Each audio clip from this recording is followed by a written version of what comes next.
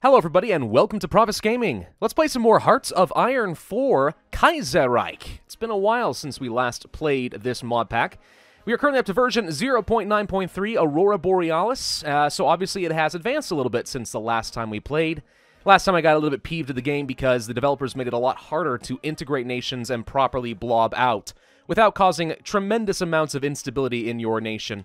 And that may still hold a little bit true, but I've had some time to cool off. And by some time, I mean several months. So I want to jump back into it because it's a really, really fun mod. If you have not seen Kaiserreich before, the entire premise is what if Germany had won World War I? How would the world look different? The answer is very different. You got the German Empire, the Britain has fallen into uh, syndicalism, so have the French. There's a lot of different kingdoms and empires that still exist. Europe, of course, looks very different here. The Ottomans are still a powerhouse. The French Republic are banished away from the Commune of France. The USA is going to descend into another civil war. It's a really, really awesome alternate history mod, and I love everything about it. Now, Aurora Borealis, I believe, uh, is focusing primarily in the Scandinavian region, and that would be a fun target for this game, but instead we are going to go a bit further south to another nation that I think doesn't get quite enough attention, and that is the Sultanate of Egypt. It's a pretty fun nation, not outrageously powerful at the beginning of the game, but basically the story of these guys is during the fall of the British Empire when the Union of Britain was falling into syndicalism, uh, nationalism in Egypt surged and they fled a rebellion to become their own independent state.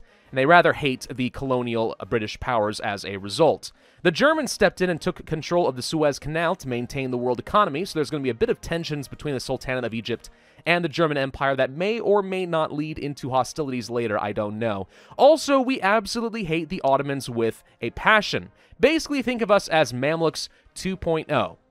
Now, we are initially going to be led by the social conservatives, and there are three different paths we can take with Egypt eventually. Uh, we can either lead to a more liberal, progressive stronghold and become a model state to the rest of the world, or we can embrace our conservatism and actually try to revert back to Pharaohism, which will be really cool. And then uh, we could also embrace our Islamic identity and become more of a theocratic state. Personally, I think we have to go down the Pharaoh route. Going for a liberal empire, easy. Almost anyone can do that. Going for an Islamist empire, probably a lot of other candidates, but pharaohs. Now that is something truly only the Egyptians can hold claim to. So we're going to play as the Sultanate of Egypt and see how well we can fare against our mortal enemies, the Ottomans. I do believe that the Egyptians also are able to form their own faction as well, which is pretty fun. So we'll get to be the faction leader of, hopefully, a lot of Africa and the Middle East. Maybe we'll find ourselves allying up with the Germans or the Russians. Not too sure yet. Pretty sure one way or the other, though, we are going to hate everything that is British. That just seems highly likely to me. Okay, so we are obviously playing with the Man the Guns expansion of the game, so naval warfare is going to be completely different.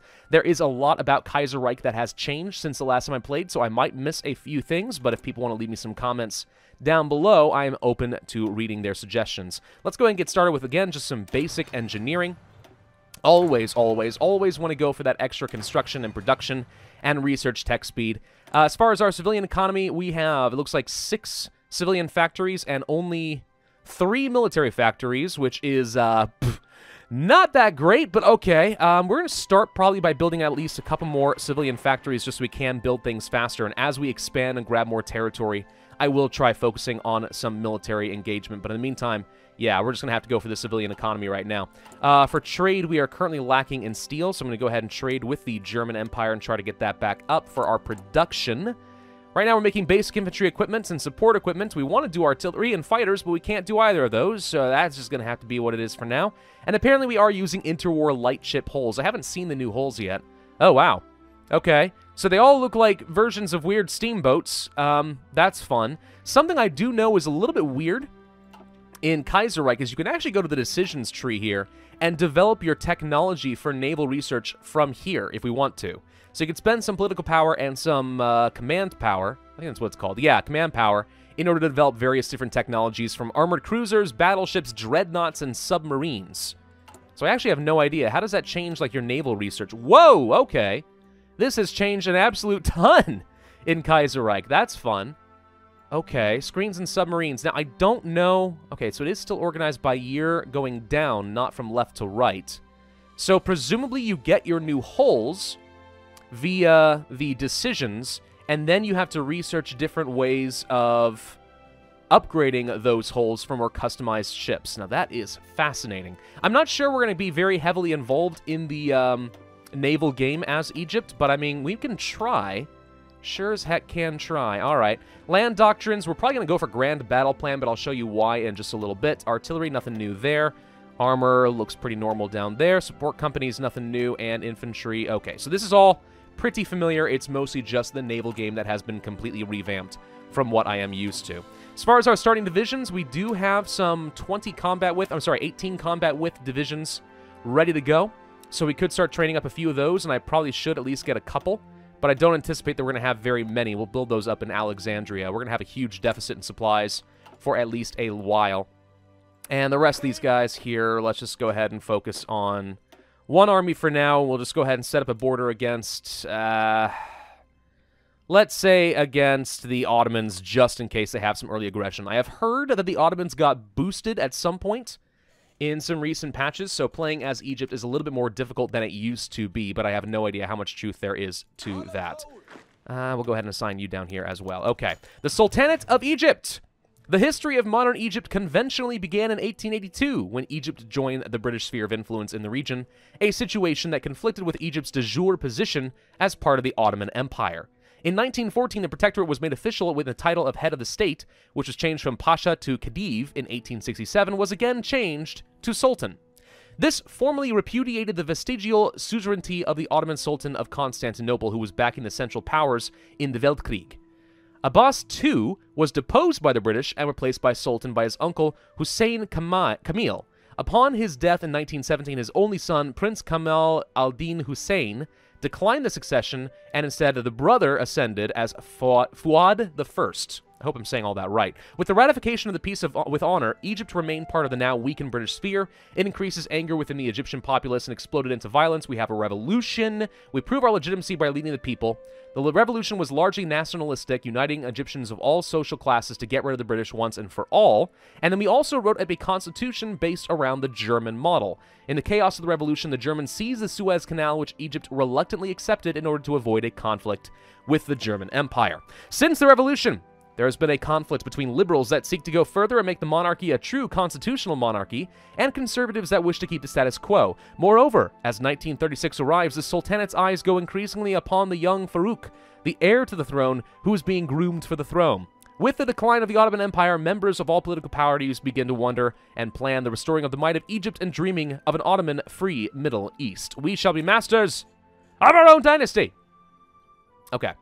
Well, uh, I guess we just go ahead and start ramping up. Now, let's take a look at our national focuses. Now, the unfortunate thing about national focus tree here in Egypt is that uh, it's pretty linear, at least at the beginning of the game. We have to wait until Black Monday begins to do literally anything. And then we're going to start working our way down Black Monday, figure out the whole Black Monday is over thing, get to Farouk's reforms, at which point I believe then we can start working on things like modernization programs, or start working on our Army, Naval, and Aviation reforms. So these four trees are completely locked until we get down to Farouk's reforms. We also want to get to the Cairo Pact, which you can't do anything until 1937, but this is where you get to start developing your faction and eventually fight the Ottomans. Then we have to decide if we're going to side with the Arabs or with Persia, and so on and so forth. It's going to be interesting. Uh, I am going into this semi-blind. I just pretty much have outlined everything I know up to this point, so it's going to be an adventure trying to succeed here. We have to wait until Black Monday, though. That's going to begin relatively soon, if I recall correctly. I guess we could start focusing on something down here. Uh, I guess... I guess temporarily I could start working on... This doesn't do any, um, this doesn't do civilian factories, so there's actually not a lot of gain here either. Army training? No. No, there's actually nothing really to focus on. I guess we just go ahead and start stocking up on some political power. Oh, President Kerensky was shot and killed in the Russia. So that's going to lead to some problems. Russia actually would be a very fun campaign uh, in Kaiserreich. Mainly because Russia can go in literally any direction. We can become an empire, we can become communist, we can become pretty much anything. Questions of Egyptian identity. When the Egyptian Revolution in 1925 happened, questions started to emerge asking what does it mean to be Egyptian? When was Egypt great? For it was the first time in centuries that we are free and independent, and now we are able to properly ask these questions. Thus, two concepts of what it means to be Egyptian have formed looking through the Romanticism, though at radically different periods in Egyptian history. The first camp is known as Pharaohism. They look to the pre-Islamic past, to the days of the pharaohs, for a time when Egypt was truly great and powerful. They argue as a Mediterranean civilization and stress the Mediterranean seas within Egyptian culture, though they do not reflect, uh, neglect the Nile. Largely it aligns with liberal parties, though strictly speaking it is not liberal, and even some of the Watani support it. It is by far the most influential form of identity in 1936. The second is Islamist uh, movement, which multi-ethnic and tolerant Egypt dominant. Yeah, so this is a very uh, conservative way of doing things, become far more theocratic in our nation. So it should be noted that both camps support a multi-ethnic Egypt. Both Pharaonists and Islamists believe that Egypt has always been a multi-ethnic state. Both concepts are largely romantic nationalist in nature and have an impact upon culture and the arts. So obviously, as I said, we're going to go down the Pharaonist route because that's a very uniquely Egyptian way of playing the game. So that does mean, I guess, we're going to follow semi-liberalistic kind of policies. So I imagine that the Watani social conservatives are not going to be in charge for absolutely forever. Uh, at the start of the game, we have a volunteer-only military conscription law, export focus, and a civilian economy, so that's going to be fun. We do have a few ministers, primarily those who are very good at giving us more political power. So we are actually generating 1.97 political power per day, which is not too bad. The Totalist Charter, Mussolini, Valois, and Beria, and other interested parties have uh, decided to form a national syndicalism, totalism movement. So there's a whole new thing going on there for these syndicalists. Um, I don't really remember a ton about syndicalism and how that all works. There's a lot of different internal parties to syndicalism. Edward VIII crowned as King of Britain. Okay. There's Kingdom of the Two Sicilies down here, so uh, don't forget that there is a bit of a national civil war going on in Italy. You have the Italian Republic, the Socialist Republic of Italy, the Kingdom of the Two Sicilies, and the Papal State. Not to mention Sardinia is also independent. The Kingdom of Austria, and Yugoslavia looks very, very different. Poland is pretty weak. Ukraine is massive. There is the Baltics united under the Baltic Duchy. Yeah, a lot of cool stuff going on here in Kaiserreich. It's a very, very different political landscape. Afghanistan declares war on the Dominion of India. Yep, that is going to happen. India is not actually united. There are several different kingdoms here, so that's fun. Come on, Black Friday. I don't remember when that starts. Is that 1937? It might be 1937. There it is. Never mind. On the 3rd February of 1936, the Berlin Stock Exchange stopped sinking. It plunged. So this is going to start the whole Great Depression. Mein Gott! I don't know why we're speaking German, but we are. Now we can go to a national focus. Wait a day. Hang on. Okay, now can I? Nope, we have to wait until it hits us. Well, darn it. Should hit us pretty soon. Electoral gridlock in France. The syndicalists can't decide what path they want to go. And now it had hit us. Okay, so, Black Monday. Construction speed goes down, production goes down, factory output goes down, stability goes down, war support goes down. Everything is awful! All right, Black Monday. Now we have to begin our recovery. That means we get a research bonus for industry, and we get a little bit of political power. This is, again, a very linear begin. Almost every uh, campaign in Kaiserreich seems to start this way in some way. Uh, you kind of have to wait to for Black Monday to begin, and then you just kind of go from there. We could hire somebody for our uh, Center of Military Intelligence. Uh, I guess a little bit more political power gain is not the worst thing in the world. More research speed could be kind of nice.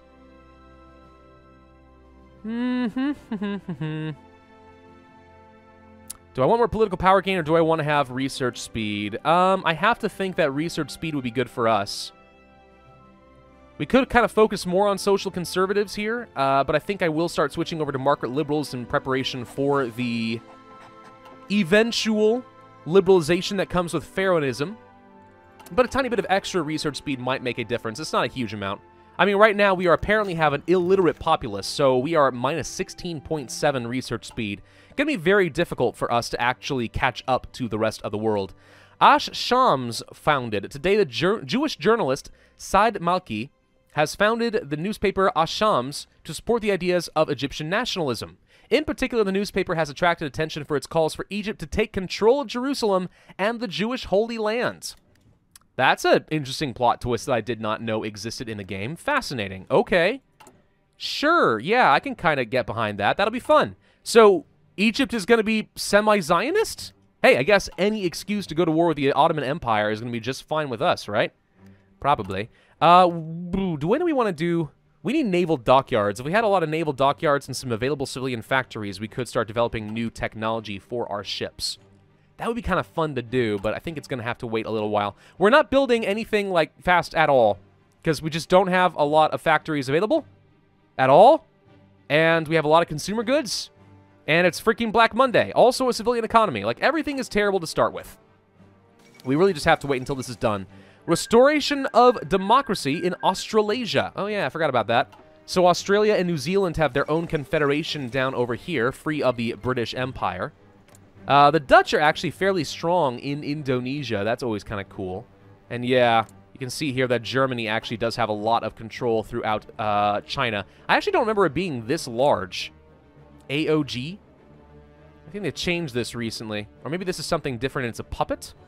It is. It's a puppet of the German Empire. This is actual German territory in East Asia. Also technically a puppet, but still fun. Yeah. I'm waiting for that. Uh, I want to see what's going to happen with the uh, American Civil War. Apparently, they've made some changes here as well. Technically, you could go down a route that assassinates one of the leaders of either the Syndicalists or the Nationalists, Long or Reed, and prevent their faction from uh, firing in the first place if you're careful. But it is unavoidable. There will be a civil war in America, Usually the syndicalists win. Every once in a while it's the nationalists. I don't think I've ever really seen the democratic, well, I say democratic, the military junta uh, survive. They can, though. All right, so we want to secure the cotton fields or secure our holdings. They do the exact same thing. However, they lead to different options. Uh, civilian factories would be nice. I guess we'll secure the cotton fields to begin with. A little bit of stability would go a long way just kind of improve our construction speed, get our political power back up there, more output. The Papal Conclave, Catholic faithful, whoop, hang on. Breathe a sigh of relief as a chapel has white smoke. Okay, so there is a new pope. Uh, that is always a fun event. There's like four different popes that can fire, and which one fires is actually going to have a huge impact on who wins in Italy. Kind of fun. Tibet joins the Great Khanate. Really? Okay, so there's the Great Khanate. That's a faction right there. The Entente still exists. The Reichspakt exists over here. And there's the Third International. And pretty soon we'll form our own faction, the Cairo Pact. I say pretty soon. We got to wait a year, but still. All right, so secure those cotton fields. We have our electrical mechanical engineering. Uh, we probably will go directly for some civilian factories and then try to remove the national spirit of Black Monday ASAP. Then we'll worry about securing our holdings and then get down to the Farouk's reforms. You actually can't do this until Black Monday is over anyway. Uh, I think. So, also we need Farouk to be the Sultan. Right. I guess that means that we have to die. Probably. Let's go for some more research speed. I'm just trying to undo a lot of the negative impacts we have from an illiterate populace. Uh, and as long as we are always focusing on building up our industry, that's fine. I'm not really worried about getting better in uh, military equipment quite yet. Not until we have a strong economy ready to go with, and that's going to take some dang research. We are slowly but surely working our way through the deficit. How much uh, production do we have right now? Four guns per day. Woohoo. The death of Sultan Fuad I. Today, tragic news hits the Sultanate. Sultan Fuad is now dead. The people are in mourning. Now, though the throne goes to the young 16-year-old Farouk, who will inherit the throne. While he has been trained for the throne, few know how he will govern. Base stability goes down because, of course, when the leader dies, things are chaotic. And we ascend to the throne as a sultan of Egypt. All right, so we're going to have to do some reforming. That should be kind of fun. Uh, let's see. We are not producing much goods, like, at all. I really need to conquer some new stuff. Or, better yet, we could actually worry about building up some infrastructure Whoop. Okay, the ARG declares war on the Republic of China. Could build some infrastructure and try to get some more steel and tungsten to export, if at all possible. But right now, yeah, we, we don't have a lot of goods. We are not a very powerful nation. We are rather weak. Uh, I guess to go to protect industry, we do have to secure the holdings, don't we? Well, let's go for the extra civilian factory, just kind of speed things up a tiny bit. But yeah, Black Monday, let's see. Land-owning elites. So political power cost apparently goes down. Resource gain efficiency, consumer goods, stability. Yeah, that kind of sucks. Argentina has things going on. Inexperienced military. Ooh. That kind of sucks. Illiterate populace. Yep, terrible. Agrarian economy.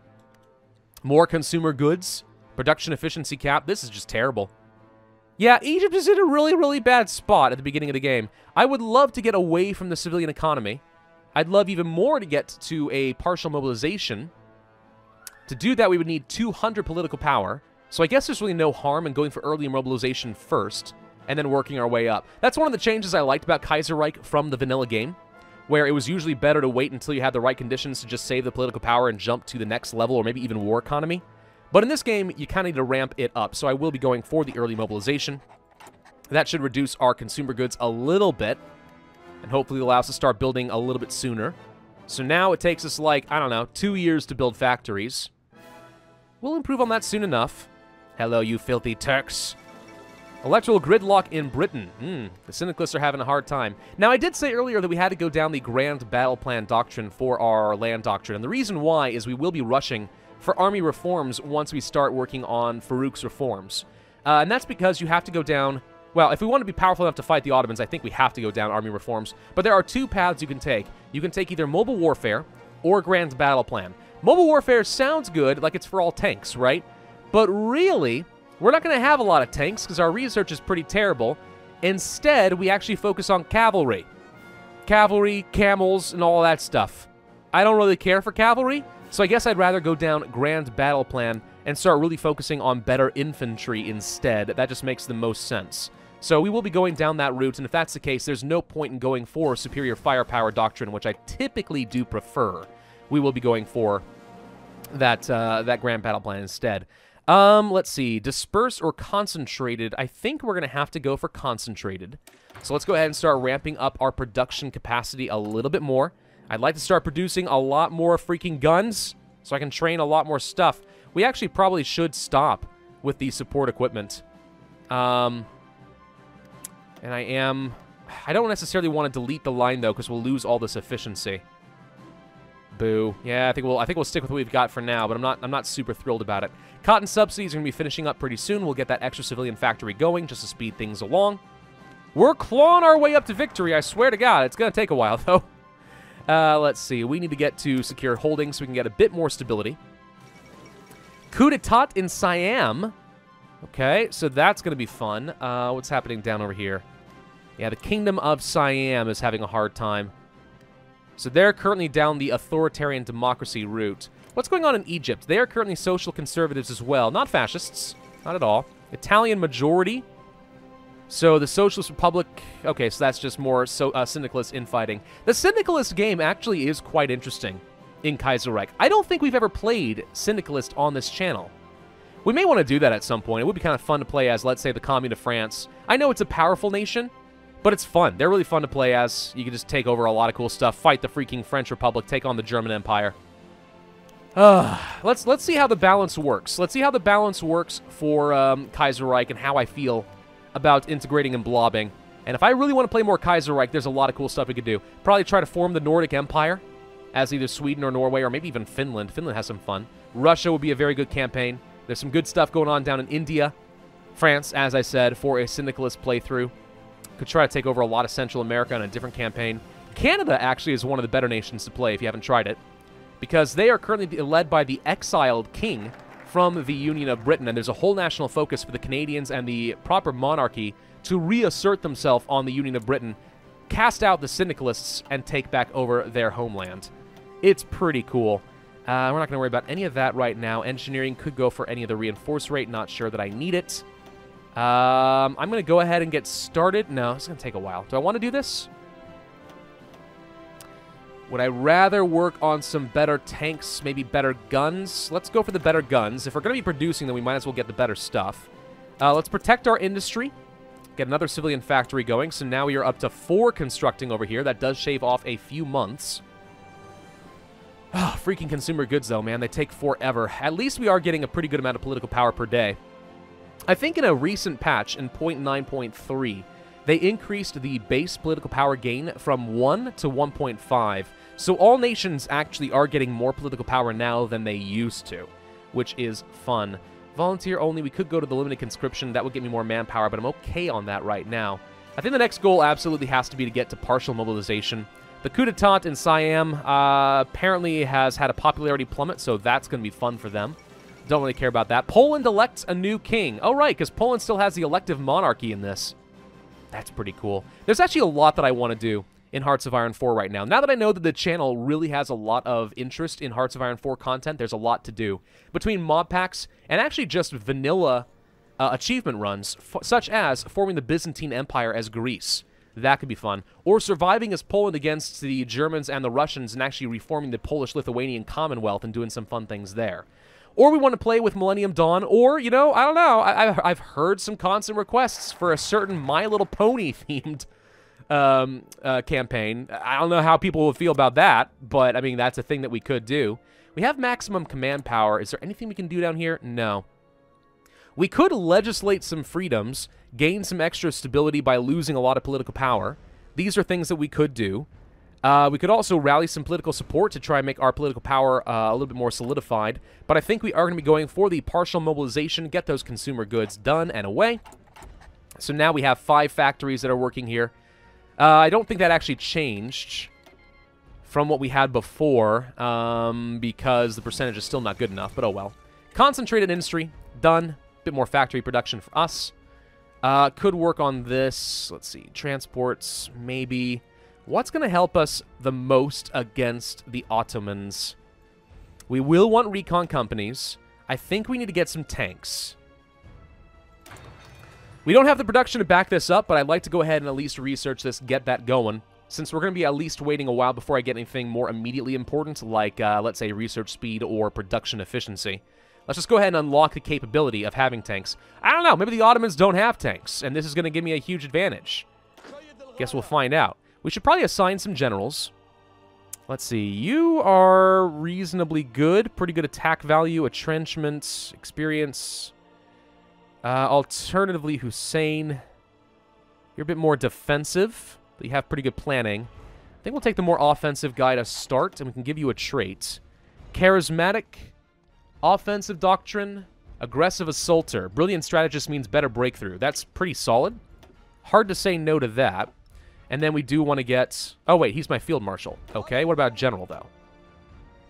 Well, that's a really good attacker. This guy's actually solid as heck. All right, we're going to take you, put you in charge. Infantry expert for infantry division attack? Probably. Entrenchment's good for a defensive leader. And the way I've been playing Hearts of Iron 4 has actually been shifting lately. I'm starting to understand a bit more about how you actually want to be breaking up your armies. One that's more offensively uh, focused with a good offensive general, and one that's more defensively focused with a good defensive general that's primarily existing for entrenchment. And the way that I've been doing um, infantry divisions lately has kind of shifted. Now I actually go for four artillery in my offensive doctrines, or sorry, offensive divisions, just so I have a lot more of that early breakthrough to win against uh, early fights. I don't know. It, I'm, I'm, trying to evolve. I'm trying to get better at Hearts of Iron 4. Not that I think I'm terrible to begin with, but there's definitely a lot of room for improvement on my end. I see that in the comment section all the dang time, so I want to freaking improve. Belgian Declaration of Independence away from the Germans. Good luck, Belgium. Have fun with that, or do they break from the Netherlands? I don't remember which it is. Either way, the Germans, I think, can reassert their dominance over them pretty soon. We're going to reopen that stock exchange. The Mongol Empire apparently is growing. That's another fun playthrough right there. Form the freaking Mongols. All right, Black Monday is going to be over. We are rushing right to this. Get rid of that construction speed. Get rid of that production efficiency cap. Soviet Russia has declared war against the Russian Republic. So now we have the radical socialists, i.e. the communists, rising up. Let's see if the Russian Republic is able to deal with them. They have a reasonable number of troops. Soviet Republic should get crushed under Bukharin. Bukharin. I don't know who you are. We'll see. Belgium has joined the Reichspakt. Okay, so that faction is still growing powerful. The Reichspakt, very, very powerful. Very, very fun. Russian Republic declares war on Alash Orda, whoever that is. I'm guessing they have some other syndicalists rising up. Nope, I was just guessing by the red flag, but apparently not. So the Russian Republic apparently is feeling bold enough to attack multiple people. We'll see how that works out for them. The Russian Republic often does not survive and becomes an empire, but we'll see. We'll see what ends up happening over here. We are almost done training a troop. Congrats to me, we did the thing. Creation of the International Avant-Garde. Carpathia. Uh, yeah, a lot of fun stuff going on over there. Let's go ahead and set up a offensive line down this way. I want to grab Jerusalem, dang it. Apparently we have a Zionist movement here. The new Grand Imam of the Al-Azhar University. The Grand Imam of Al-Azhar is one of the most prestigious and influential positions in Egypt. The fact that Al-Azhar is one of the most prestigious universities in Egypt helps add to their influence. Today, though a new Grand Imam must be chosen and the two leading contenders are naturally divided between Pharaohist and Islamist camp. The Pharaohist candidate is Muhammad al-Zawahiri, Zawahiri, sorry, whom has earned praise for his efforts to support the university as well as his reformist ideals.